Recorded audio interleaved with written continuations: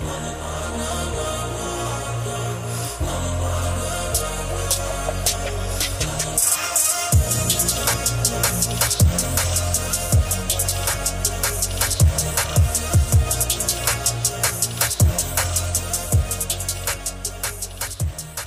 y'all doing?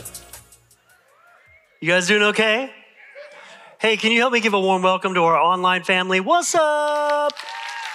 So good to be with you. Okay, so I have a question for you. Have you ever talked to a really rude customer service rep? Yeah, I think most of us have. I was on the phone with this uh, rep and I was trying to get a misplaced late fee refunded.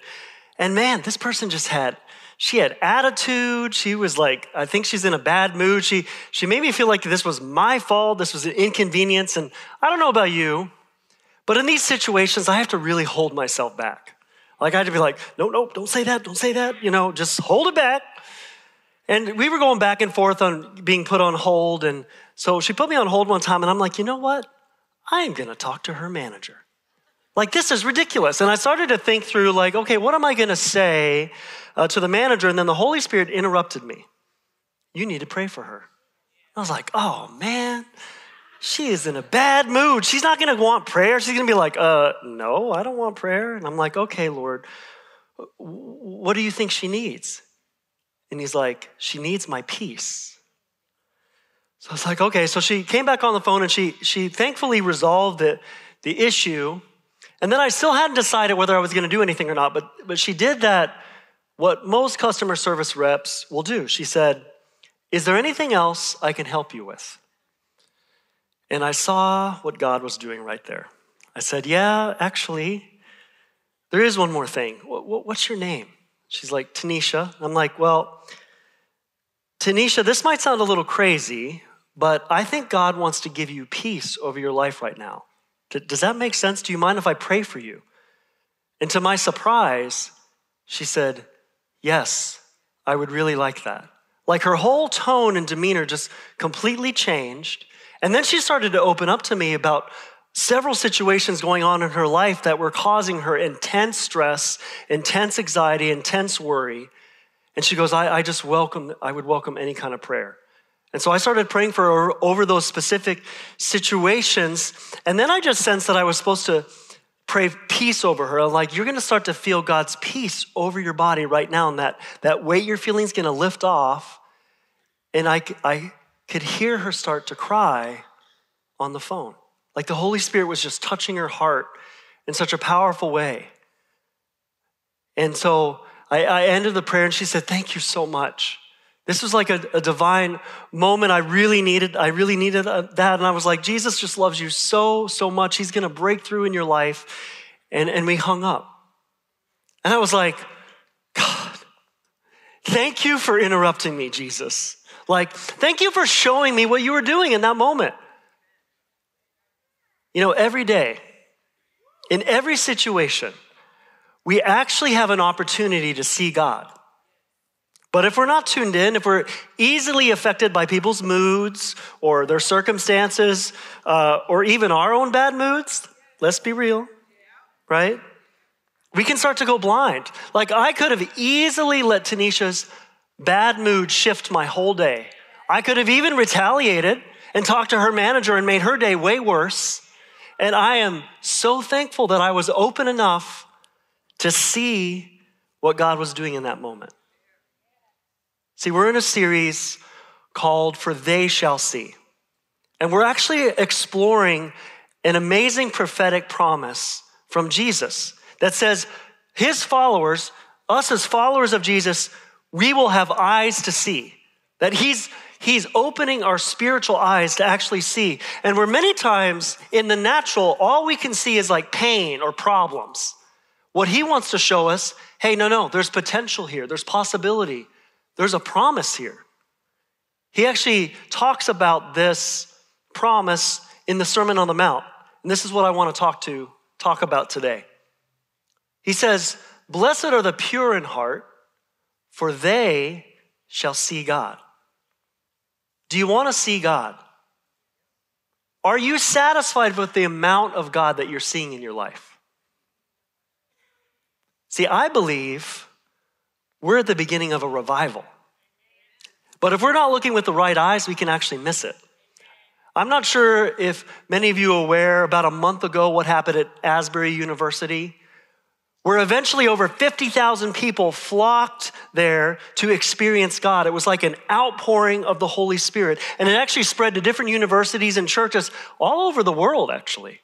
People were hungry for God. But you know, some people, they couldn't see what was happening, or maybe they wouldn't see what was happening because they were judging it. They kept critiquing it because it didn't look like they should, and it blinded them from seeing and receiving what God was doing. See, there are things that we can do to block our spiritual sight. And so I want to take some time to explore this a little bit. What does it take to see God? Let me just pray and invite the Holy Spirit. Holy Spirit, I just ask right now that you would open our hearts to your presence, open the eyes of our heart, Lord, open our ears, right now, just our spiritual senses. I just kind of bind confusion and cloudiness and fuzziness. I bind it right now. And God, I pray just an open heaven over this place that we would receive from you this morning. In Jesus' name, amen. So Jesus stands up to thousands of people and he says this phrase Blessed are the pure in heart, for they shall see God. Now, when I first read a verse like this, I don't know if this happens to you, I get a little stressed because I'm like, wow, I need to have a pure heart to see God. Well, my heart doesn't always feel pure. I get angry, I get frustrated, I get judgmental, I wish I could say that I always pray for a, a, a customer service rep that has a bad mood. I don't. So then I'm, I, I, think, okay, I have to work to get this pure. I have to purify my heart. But then I start to feel this tension. I don't know if this happens to you because it doesn't match what I know Jesus did for me on the cross. See, there's a prophecy about what Jesus did concerning our hearts, that this is what he accomplished on the cross. Listen to what Ezekiel says. He says, I will give you a new heart, and I will put a new spirit in you. I will take out your stony, stubborn heart and give you a tender, responsive heart. See, this is actually what Jesus has already done for us. Like when you said yes to Jesus, he gave you a new heart. So then, why doesn't it always feel that way? Why do we have trouble seeing God? It, there's a paradox here, there, there's a tension here. So, I want to break down this verse a little bit. Blessed are the pure in heart. To see, well, okay, what do, you, what do you actually mean, Jesus? Well, when you look at the word pure, we probably think, okay, clean, and it does mean clean, but when you look at the root of this word, this Greek word, it actually means purified by fire.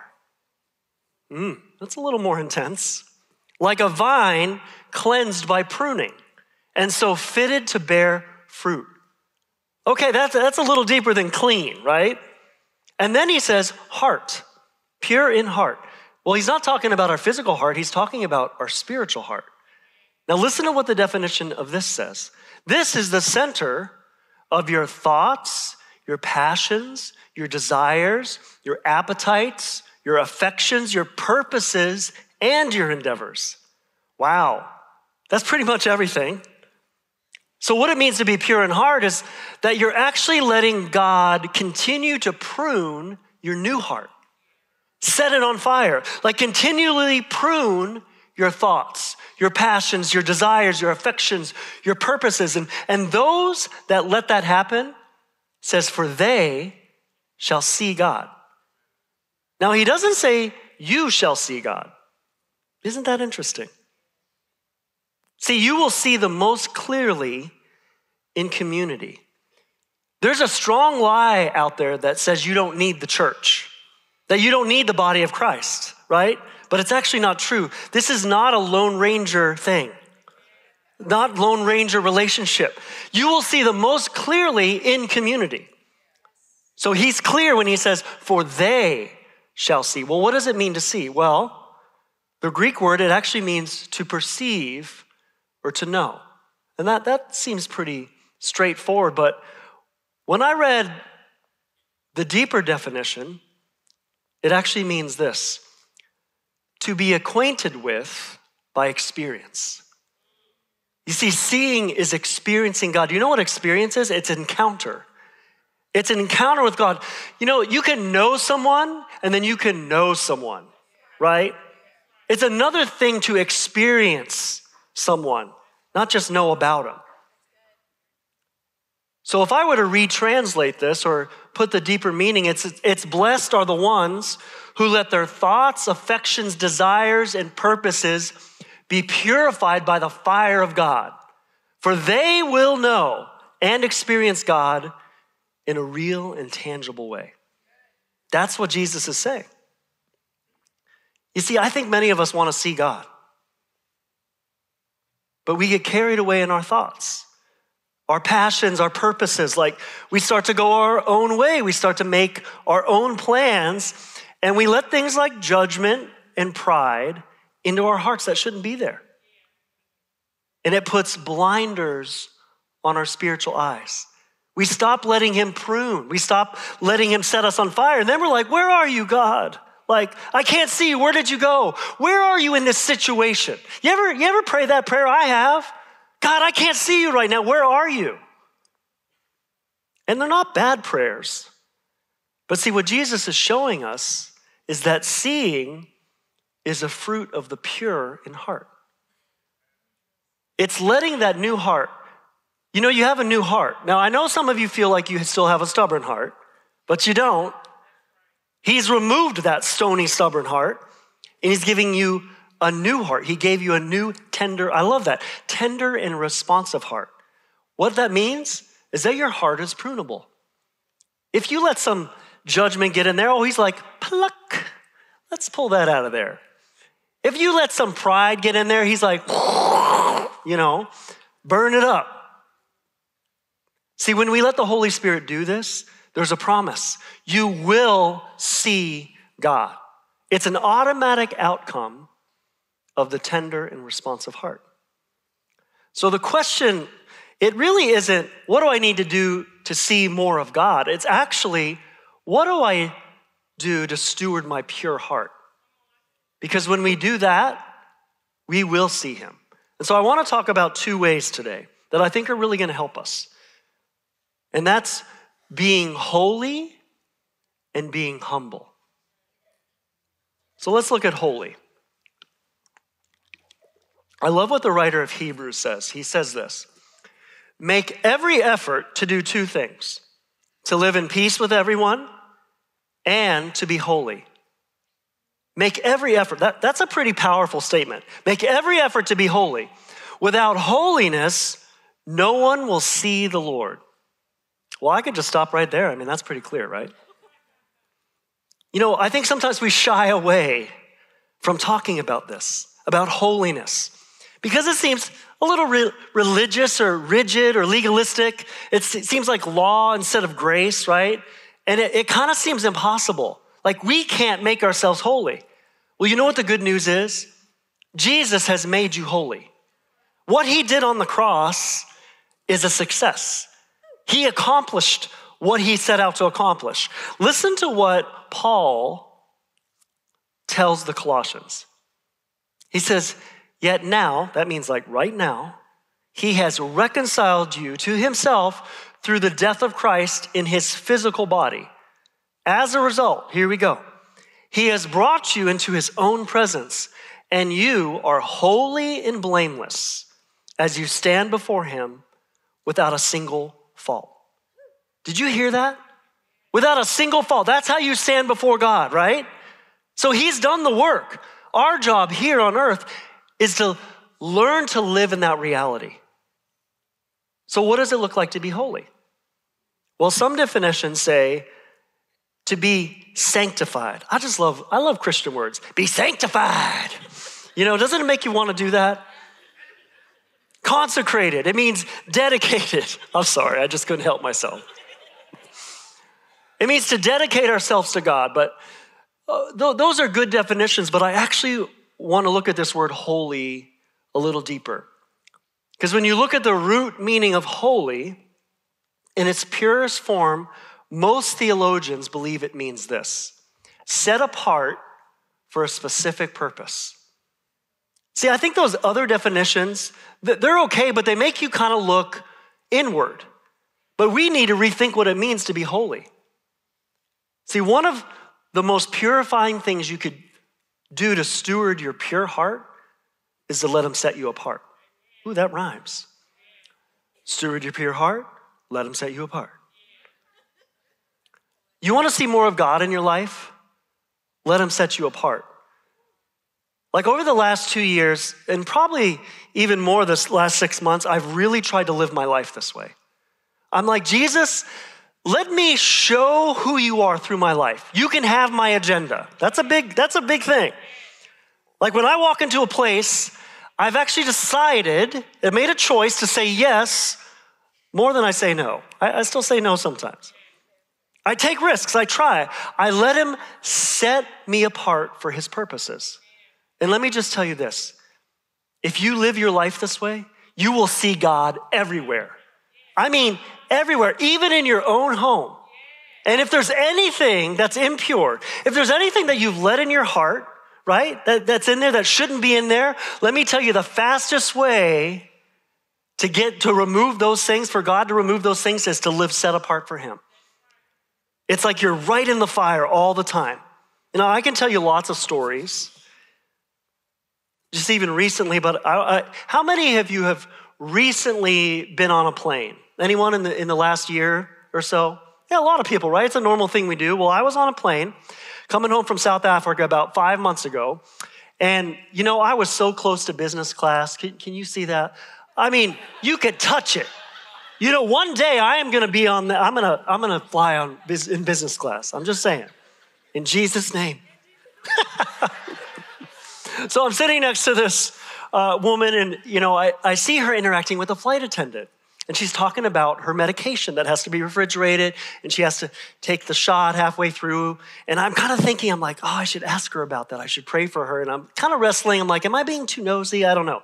So you go through all these thoughts. And finally, I'm just like, hey, would you mind me asking uh, what that shot is for? And she's like, oh, I have diabetes. And so I have to take these shots and it has to be refrigerated and all this kind of stuff. And it actually sparked a really great conversation about family and business and all this stuff.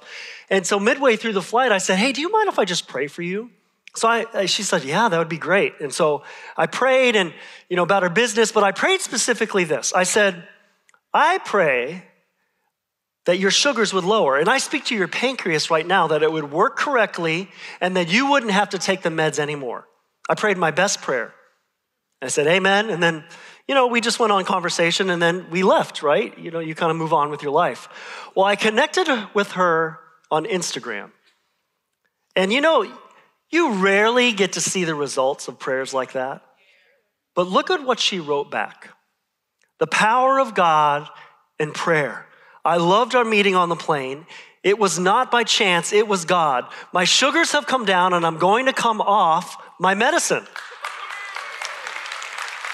That's Jesus right there, right? He heals diabetes. This is five months later, I find this out. Like, I think we need to redefine what living a holy life looks like. Set apart for Him. Like, it's way more exciting. And you know how this has helped me? Well, there's a few ways. My fear of man is dying. You know, fear puts the blinders on your spiritual side like nothing else. Like, and I'm just less afraid of what people think. My compassion is rising. Now, I'm a pretty agenda driven person.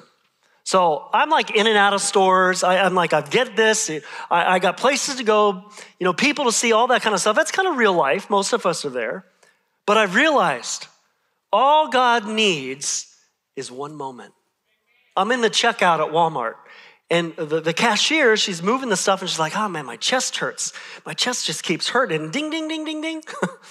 that, that's a hello, the Lord wants to do something. I said, hey, how bad is your pain? Like high, medium, or low? She's like, it's medium high. It's really hurting. I'm like, let me see your hand. And I smiled at her. And then I said, You're going to start to feel warmth on your chest where that pain, and that pain is just going to go. And she was like, What the beep? She's like, Oh, I'm so sorry. And I'm like, That's okay. Literally happened. And I was like, Where's your pain? She goes, What did you just do to me? I'm like, That was Jesus.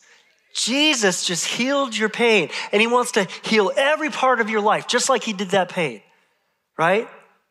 And she's like, Really? I'm like, Yes, He loves you so much. Now, the people in line were like, Come on, man, you know? So this took about 45 seconds, and I'm like, Okay, bye, see you later. That's all it took. See, I'm seeing God everywhere, right?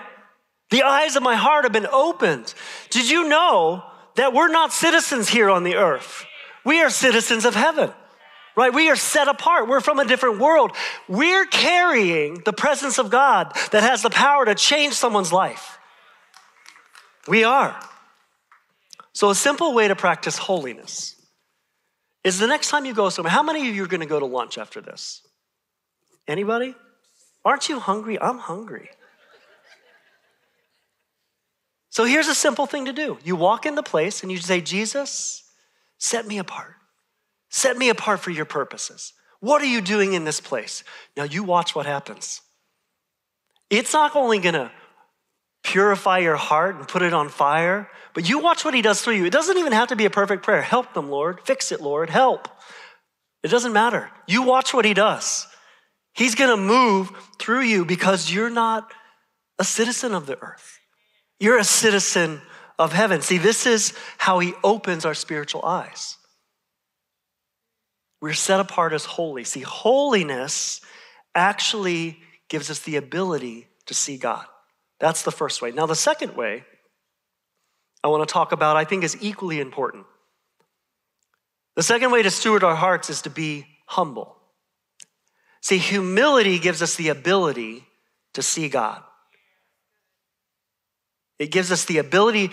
I believe the, the mark of this move of God that started a month ago is marked with humility and holiness.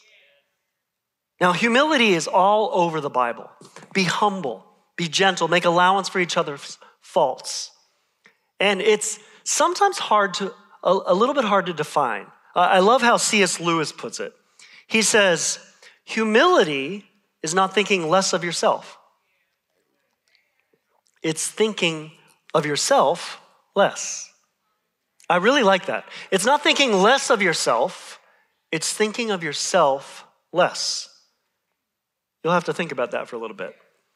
There's some powerful promises all throughout the Bible about humility. Look what God tells Solomon in Second Chronicles. He says, "If my people who are called by my name will humble themselves and pray and seek my face and turn from their wicked ways, then I will hear from heaven, I will forgive their sin, and I will heal their land. Now, I know there's, this is the Old Testament, right? But see, the promises of humility are the same. Humility attracts God's ears. Humility actually attracts His mercy. Humility attracts His healing. Like, wouldn't you agree that our land needs some healing? Do you think there needs to be healing in our land? Yes, it does, definitely. So, how does humility help us see God? Well, sometimes it's, it's helpful to ask, well, what's the opposite of humility? What is it? Pride. That's right, you all know. Now, I don't know where I picked up these definitions. You know, I think it's like cultural Christianity or something. Like pride we often think is thinking too highly of ourselves, right? Maybe arrogant. And then humility is, well, thinking appropriately lower of ourselves, right? Is that kind of what you all think of pride, humility? Well, the problem with these definitions is where is the line? How high is too high? How low is too low? See, the enemy knows that humility is a key to seeing God. And so he wreaks havoc in our life. How dare you think you're so gifted? Oh, you thought you did that humbly. Well, everybody else thinks you're just arrogant or ambitious. Right? And because we don't really know where the line is, we believe it. well, maybe they're, maybe they're right. And he tries to lower and lower and lower where that line is until we don't even like ourselves. I know so many Christians that don't even like themselves, right? Maybe that's something you, you struggle with, right? But I want to suggest that we reframe how we think about these two things. What if the real definition of pride is not thinking too highly of myself, but thinking I can define myself? I am who I say I am. What if that was pride? I'm just going to say our society really reinforces this narrative. Define your own reality. Define who you are. Define your sexuality. Define your gender, right? Man, labels are real popular right now. They're kind of crazy. This is what you have to call me. You're like, man, the world is obsessed with defining itself. I mean, we see it all over social media. We put out the best versions of ourselves. Like we put, we put out the filter. I mean, I do this, I know. I mean, it's not all bad, but you get the point. See, so much of the culture is saying, you be you. You be who you want to be. You be what you want to be. I am who I say I am. And what they don't realize is that they're putting blinders on. They can't see. There's a reason that God writes this, this verse from James. God opposes the proud, but he gives grace to the humble, grace to see. See, what if the opposite of pride, humility, is that we say, God gets to define who I am? That He's the one who defines who we are. That humility is actually simply accepting who God says we are that He defines the line, that His word is the ultimate truth in our life. Do you know the, that the word says you are wonderfully and beautifully made? That God has precious thoughts, they actually outnumber the grains of sand. That's what God says about you. And so humility is just saying, I am who you say I am. See, humility gives us the ability to see God because we're actually letting Him bring definition to our thoughts.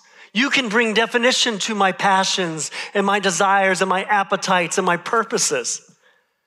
See, I believe this mark of this move of God is marked by humility. Where, where people are going to abandon trying to define themselves because they realize it doesn't work. It leads them down a pit. They're not going to let the world define. They're going to say, Lord, I know you love me. I know you care so deeply about me. You can define me. That's actually what was happening at Asbury. I have a confession. I went to Asbury. Now, that's probably not shocking to most of you, but it was a little shocking to me because it's like five hours away. But I went because I knew God was doing something very unique, and that doesn't happen every day. And so I grabbed my older boys and we went. And let me just tell you that outpouring of God was marked by humility.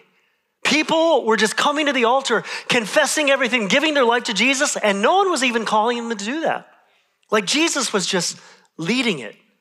It was, it was beautiful. Now, I, I think since I gave my life to Jesus, I, I've always wanted to be part of a revival. I mean, like, who doesn't? But early on, you know, probably the first hour in, I noticed like they, like the Spirit of God would just be moving in the room. And I was like, wow, this is so powerful. But then no one was really stewarding it. Like, it was like these tangible moments, and then it would just like pass by. And I was like, you know, I lead the School of Kingdom Ministry. I, you know, we love the Holy Spirit here. We love to help people see what He's doing and partner, all that. But I would see these moments pass by, and I started to get a little frustrated. I started to get, I started to judge what I was seeing. And I sense the Spirit hey, don't miss what I'm doing just because it doesn't look like you think it should. Oh, humility. Oh, yeah, you're right, Jesus. You get to define this. You do, this is your thing. This is not my thing. And it was so good. It was like, okay, I can just receive. you know, when you're a leader, it's just good to receive sometimes, right? I just get to worship. I, I just participated. It was beautiful. It was so beautiful. But then something happened that I never expected. This usher walks up to me and goes, Hey, do you lead worship? And I was like, Uh, yes. Hey, well, the leader of the worship here wanted to know if you'd be willing to lead worship for this. I was like, uh, there are 1,700 people here. How do you know that I lead worship? Like, I was just like, really like confounded. Like, what's happening here? She's like, I, I don't know. They just sent me up here. I don't know what's going on. I'm like, uh, okay. She goes, will you, will you do it? I'm like, yeah, yeah, of course. She goes, okay, well, go down there at 7.15 and you can talk to the leader then. And I sat down in my chair. I was like, Lord, you know me. You know this desire in my heart. Only, only you out of all these people. Wow. So I went down there, I talked to the leader, and there was a little bit of chaos down there, right? They've been going for 24 7 for seven days at this point. And she's like, Hey, would you like to lead worship and help us? I'm like, Sure. She goes, Okay, just wait on the side. This is how it goes.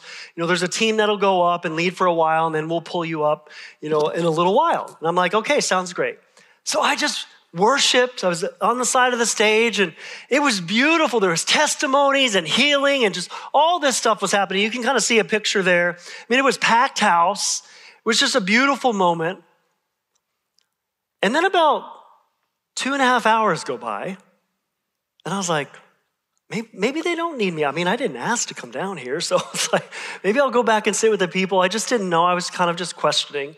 And finally, the leader comes over to me and says, Hey, so things went way longer than we thought. I mean, that testimony and all that, it was all powerful, but we're actually working on the schedule for overnight, and we're wondering if you would lead worship from 2 a.m. to 4 a.m. I was like, Oh. And I thought, Oh gosh, I'm so tired. I was like, Okay. And she goes, Oh, and one other thing. Um, you know, our staff has been going 24 7 for seven days now, and they haven't had a break. And so at 2 a.m., we're actually going to clear the auditorium. But we want to really steward what God is doing. So we, we want to continue the worship and prayer. And I was like, oh, so it'll be kind of like an audience of one. She goes, yeah, kind of like that. Would you do it? Now, I don't know if you can be totally excited and totally disappointed at the same time, but that's where I was. And I was wrestling in my heart in these, these few moments. And I was just like, oh God, I, I, I don't know what to do. And I just heard this still small voice in my heart that said, I'll be there. I can still feel it. Dang it. I can still feel it. It's like, God's like, would you do this if it was just for me? Would you worship me if it, I was the only one that knew about it? And I was like, Yes, Lord. Of course I would do it. So I, I was like, okay, I'm to do it. So I showed up at 2 a.m. and I worship my heart out to the worthy one, to the King of Kings, to the Lord of Lords, to the one who's worthy to be praised. And you can see the picture right there was to the audience of one. See, true revival opens the eyes of our heart like nothing else. And it was like a new level of humility that I just didn't expect. Like God was like, I see your passion. I see this desire to be part of revival, but I want to prune your heart a little bit. I want to make sure your motives are totally pure. So I've invited you to be part of this, kind of one of your dreams, but it's just going to be you and me. And I'm so glad I said yes. Like I could have said no, Jesus would have still loved me. But I'm so glad I said yes. Like I'm I'm seeing God at a at a whole new level. Like would you do it if it was just you and him? Would you do something for God if if someone else was going to get all the credit? If someone else would never, you know, no one else would ever see it. See, the second way that we steward our heart, our pure heart, is humility. And the fruit of that is we see God. Let me just tell you There's an invitation here. Uh, we're, we're living in a time where God is ready to pour out His Spirit, and there's an invitation here. Would you let Him prune your heart, prune your thoughts, purify your appetites and desires? Would you let Him define you, not the world, not yourself? There's an invitation here for you to actually see God. You are not a citizen of the earth, you are a citizen of heaven. See, there, there's a promise here. Blessed are the pure in heart, for they shall see God. Would you stand to your feet? I just want to pray over you. Put your hand on your heart. Lord, this heart is yours. And so, Holy Spirit, as we move into worship, Jesus, I thank you right now that you're going to start removing some of the obstacles, some of the places, some of the places that are just holding us back. God, I thank you that when you, we said yes to you, you set our heart on fire. And I'm just speaking to every heart in this room and say, burn. Let it burn. Let it ignite. Let the fire come, Lord. We bless what you're doing in every heart. And we thank you for this moment in time that we get to be a part, that we are here, set apart for your purposes. For such a time as this, we bless you, Lord. In Jesus' name. Amen.